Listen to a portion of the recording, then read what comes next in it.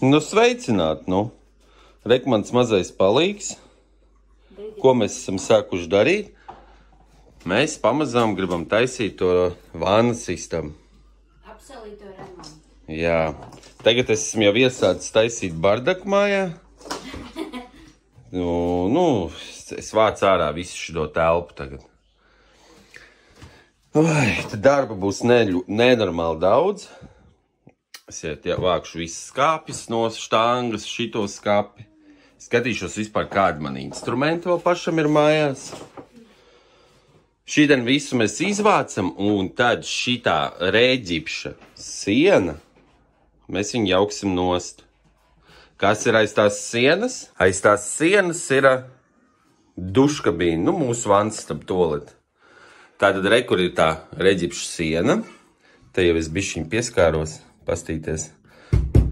Nu, kur šitas viss būs jājauc. Tad šito sienu mēs nojaucam un attiecīgi mūsu uh, toleta vannas istaba paliks lielāka un mēs varēsim ielikt vannu. Nu, tur kaķi kastus, to nav jāskatās. Šitien arī viss būs jāatbrīvo. Um, redzēs kāds plāns. Plāns pagaidām ir nojaukt šito sienu. Un, lai vēl gal, nav galīgi tā, ka mēs nevaram nomazgāties, tad šitien te mēs mazgāsimies širo pusi ar ūdeni. Un podas arī atstāšu, lai var aiziet pa. Paka. Jā, nu vot. Paka. Nu, tā kā darbi daudz, tagad sāku atbrīvot telpas, un tad mēs demontējam šo sienu. Jā, tā izskatās mans palīgs. Skapīt izvācām.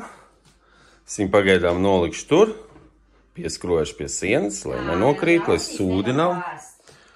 Un jā, nu tagad jāturpina vākt.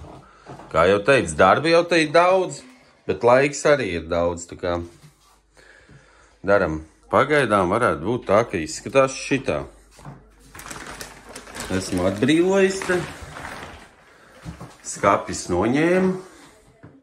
Nu, veļas mašīnu, kā es teicu, pagaidām mēs neņemsim nost. Uzlikt te plēju, lai nelido pa visu māju putekļi.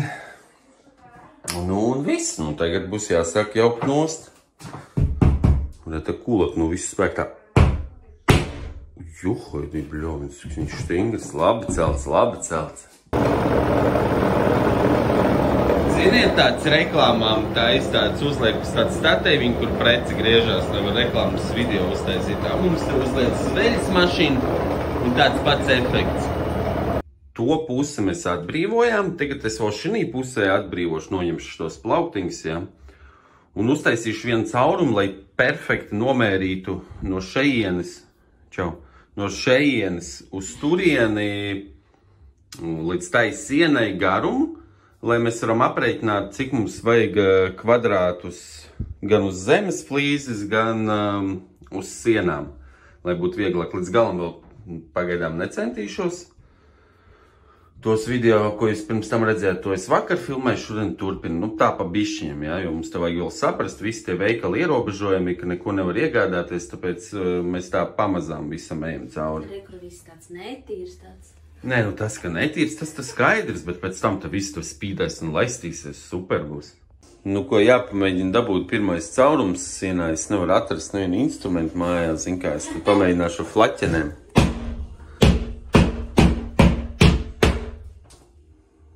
Nevar, tur laikam divās kārtās ir šitais te. Reik man ir zāģītis sagatavots, iezāģēšu. Pamēģināšu skrūgriezt. Es ceru, ka es nesitu tieši profilā, tāpēc es arī nevaru izsist tik viegli. Oh! Nopietni! Pastieties, kāda veiksme. Es esmu tieši profi, pa profilu situ, tāpēc es arī neizsitu. Nē, nu tāda laimes. Ot šitā loterijas biļets, ja pirktu kādreiz un varētu lēmēt šitā trapī. Jā, reikur uzreiz izsit. Nu jā, te es trapīju profilā. Nu lūk te. O, ir vate. Šito caurumu es taisīšu ciet, lai nevajadzētu pirkt palieko. Šitien būs, nu, izmantošu šitai sienai aizsiltināšu ciet. Nu, arī skaņas izolācijai tas. Tas, kas tad izgriezīs un pārdošas tas. jā. Šito reģimšu gabalu, jā, viss materiāls varēs nopirkt. Es viņus smalkāk sadalīšu, likšu tādos uh, stikla šķietas maisiņos. Visu varēs iegādāties no maniem smuki. Labi, davai es tagad te močīšu tālāk, man filmēt un uh, darīt ir grūti. Zināsim tagad, ka te ir profils. Tas ir ļoti labi, ja viņš būs normāls, viss kārtībā, tad mēs te varēsim... Ā, te to profilu varbūt varēs izmantot šitai sienai. Nu, karoči sanāk, ka te varēs kaut kādas materiāla daļas, varbūt tās izmantot citām vietām mūsu remonta laikā. Bet labi, nav ko notikumiem skatīt. Priekš pagaidām pasarēsim, vajag izsist caurumu. Vajadzēs vēļas mašīnu apklāt ar lēnu, Paldies, bet tu mani ieklausījies. lai, lai nesaprastu, nu, Paldies, tev beidzot tu to Tam izdarīji. ūdenim kāds pusgads, lai... Viņam izkastējām, bet Un kur tu viņš te stāv? tāpēc, ka es tur biju priekš puķis salējis ūdeni, viņš jau tur pārstāvēs, jā, viņš jau gan jau voņu. Tāpēc kaimiņus nebrīdinājām par šo remontu. Uj, es aizmirstu par kā? kaimiņiem. Vajag aiziet augšējai pateikt. Da labi taču. Wow. No, no, no. Prikali tur ir štuka iekšā. 10 tūkstoši eiro fiksi, visi skrienam.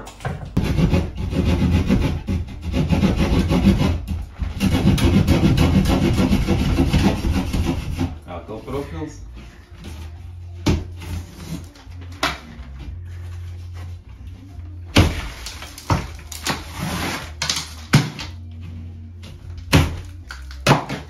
Laikam cimds vai kaut kāds lietot, ne? Tas tā var atrast. Ziemas? Jā. Vajag daudz profilu iekšā, es to pateikšu godīgi. Nu, tā tad godam ir taisīts sienas.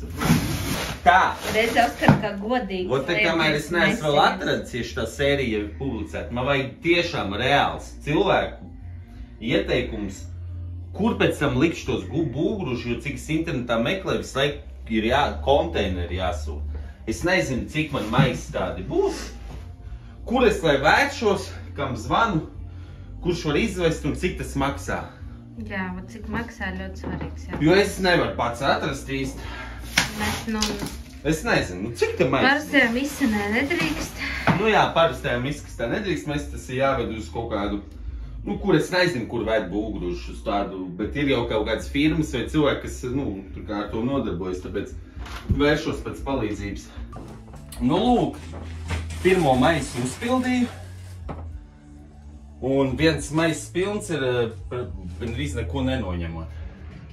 Tad man vajadzēs vāti izvākt, es salpojos, nezinu visus tos putekļus. Tagad točnu maska laikam ir īstais brīdis, lai vilktu masku, jo šitien, man liekas, stikla lati. Un visi tie puteklīši un visu to es salpojos kopā. Nu, re, re kur ir vancis starp šitien te. Diezgan biesas, pateikšu, te ir vairāk nekā 10 cm. Man liekas, kopā ar reģips, kad 15 cm siena bija. Darbi bija ļoti daudz. Tā kā turpinam. Jāiziet, jāpačurā laikam. Kas tas pa caurumu? O, ko tu te dari? Skatīšos, kā tu čurā. Labi. Nu, pasties, tā kā maņiekiem, zin tāds caurums, kur lūrēt. Nu, baigi daudz darba izdarīts, ja tāds viens kvadrātiņš. Labi, jāstrādā tālāk. Vajag dabūt lielāku caurumu, tad es gribu nomērīt precīzi viss. Dīvaini tas izskatās. Nu, protams, ka dīvaini. Šausmīgi dīvaini. Nu, pasties, kā mēs esam pastrējuši. Šodien divās dienās šādu caurumu esam uztaisījuši. Nu. Nu, kas ir malači? Nu, super. Sie istabā, jā? Klausieties, es jums varu pateikt, ka, ah, nu jūs tā zinat, jā, es neesmu nekāds celtnieks, jā. Reku tātad. Ir uzreiz videogrāfs. Jā, es video filmētājs. Es kāzas varat filmēt, pasūtīt, tad, kad beigsies pandēmija. Nu, šitā ierobežama. Nu, vod, tad, kad jūs strādājat un taisat uh, telpā reģipšus, kur ir uh, vanna, tad jums jāliek ar zaļo reģips. Viņš ir biezāks. A šī tās ir, oh, blīn, nagla, tur nav siena, reku.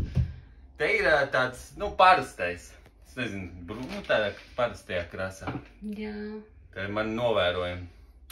Nu, mēs jau kopā ejam cauri šitam visam. Es jau saprotu, ka tur kaut kādi skatās arī video. Jā, tu vat kas stāst. ir uh, celtnieki un kas ļoti labi saprot visu. Tas gan jau uzreiz Jā. šito viņš nepareiz darbē.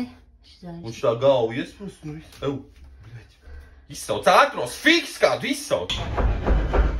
Viņš tāds skaņa tagad ir visu laiku, kamēr viņš tur ņemās. Bet starp citu, mēs no tā mini kā būža izvācām visas šitās mantas. Tā nedrīkst griezt. Un, uh, un šitas visas mantas būs kaut kādīgi jāizdomā viņām visām vieta. Un uh, mums tur ir uh, tādā citā istabā arī skats, ko mēs pārtaisīsim. Un šito īstenībā arī taisīsim remontu. Tā grīdu mainīsim jau tāpēc atradām aizkarus jau atbrauks sieviete nomērīs. Tā kā šitā istaba būs tā mūsu ar Oskaru agrāk. Viņa bija mūsu ar Oskaru, bet mēs pārtaisījām tur remontus. Mēs tur virtuvi nesām, un tur tagad mēs, mēs tagad guļam virtuvē, tur, kur agrāk bija virtuve. Nu, lūk. Tagad es skatos, redz, te ir caurums. Te ir griezt un te ir griezt. Mums vajag, Īstos vienādi. Piedod. mums vajag, lai tie griezti ir vienā līmenī, lai mazāk čakar. Un es ceru, ka viņi ir vienā līmenī. nu izskatās no manis skatu punktu vienā. Nu, man te vēl... Jā, viens vajag. Nē, bet tā jau forši pasties tāda caursteigājumā, nevis? Ļoti cārstīgi. Labi, nav laika jāstrādā. Izrādās, ka tur lejā ir trūbas, tur, kur Oskars stāv. Ā, nu es pēc tam parādīšu visu. Nemaz nebūs tā, ka tu nojauc, un tad tev vienkārši ir grīdi Nē, nu, trūbas. katrā, man liekas, objektā vai darbā, gan jau, kad saskarās kāds, vienmēr atrodas kaut kas neparedzēts. Nu, mēs šitā gadījumā Tāpēc līdz arī, galam viss nezinām, kur iet tās trūks, tāpēc tu pa bišķiņiem jaucam ārā. Tāpēc arī mēs jaucam ārā, lai viss varētu saprast, un lai sasniegts atnāk un saprot, ko viņam te jādara un ko nav jādara. Jā, lai plānu darbu var sastādīt. saproti? visu plāns, jā. Labi, es iešu ārā. Nu, šīs dienas, šodien es vairs neko nedarīšu. Te reku man jau ir. Tur ir vārte, te ir reģipšu gabals, jau viss tas savāds, lai baig, beigies bardaks nav bērns būs mājā no dārziņa drīz. Lai nav te jāelpo un jāvazājas kaķi vēl pa māju, tāpēc man sanāk katru reizi pēc darba jāvāc viss. Kur tu gaismu neieslēdz? nu, vot, un, un, un, un, un. Reiku tad ir tās trūbas, jā. Šitais te, tas ir uh, pots. Un reku vēl ir trūbas. Un, un, un tās trūbas arī tur iet kaut kur sienā. Tad viss vajadzēs razbirāts pēc tam, kas te ko un čo pa čom, kur iet. Tad reku te ir tie griesti. Tā, nu es paņēmu tagad šo te līmeņrādes. Man te kaut kāds ir uzkāpšs uz veļas mašīnas. Nifigā себе. Ā, nē, laikam nebūs vienā. Varat. Ah, ты сволочь! Pastāst, kāda šķirba sanāk. Parādi. Jā, nav viņi vienā līmenī. Nu, ko darīs? Nu, Es nezinu, lai komentātori man tagad eh, zem video pastāsta, ko darīt šādā situācijā. Tā ir. Cilvēki visi, es saprotu, ka daudz varbūt man tur šīs sērijās tur uh, kritizēs, bet, nu labi, es kritiku pieņemšu, tāpēc, ka es neesmu remonts pečuks, bet, nu, centīšos, cik varu pats izdarīt. Nu, tad, tad lūk, mums šitie griezti atšķirās bišķi ar augstumu. Baigs stūri. Tā kā gaidīšu no jums padomus, kā šito risināt. Un šodienas sēriju es beigšu ar šito, ko esmu izdarījis. Un es ceru, ka vēl te es nefilmēšu to visu remontu padarīšanu, un ka jūs Oskars Atbalst. jāsaka- Oskars jau saka teikt, ka doj grūti būs. Es viņam saku, tu visu tu jau vairs nevar apstāt. nu, grūti būs, ļoti grūti. Pasies, es te varu teikt, neko vēl neesmu izdarījis. Un... Un jau ir trīs vai četri maisi. Nē, nu labi, tas nekas, bet nu, darbi tik daudz, jo tas visas sienas, šis arī reģips, šis viss būs jāatlaiž nost. Un reģips jāmaina, tāpēc, ka flīzes tikai reģips nāk nost. Tā kā sūdi baigie briest. Nu, lūk, tad es gaidu atsauksmes, komentārus, padomus, atbalsta komentārus, ka man tur izdosies, cerams. Nu, ja neizdosies, arī var uzrakstīt. Un, protams, laikus, nu, tā kā, lai es saprastu, vai man filmēt šīs sērijas par to, kā mēs taisam vannas istabu, vai nē, nu, vai ir interesanti vai nav. Šo sēriju beidzam un tiekamies nākamajā sērijā. Skatāmies, kas tālāk būs. Gaidu no jums kaut kādas atsauksmes. Nu, loģiski, ka kaķim tagad ir interesanti, kas tas pa caurumu. Buciņ, kas te notiek, ko? Kas tas pa caurumu? Es ceru, ka viņš tur lecot kaut kur. Nu, viņš naktī gan jau līdīs, lai viņš te nesavainojās pret šitiem te. Nu, vajadzēs to visu vākt nost. Miljons procents tur līdīs. Nu, protams. Viņš ir tāds. Labi, ka es šitā sienu noņemt, lai viņš tur neiekrīt iekšā, zini, iesprūst kaut kur davai čau.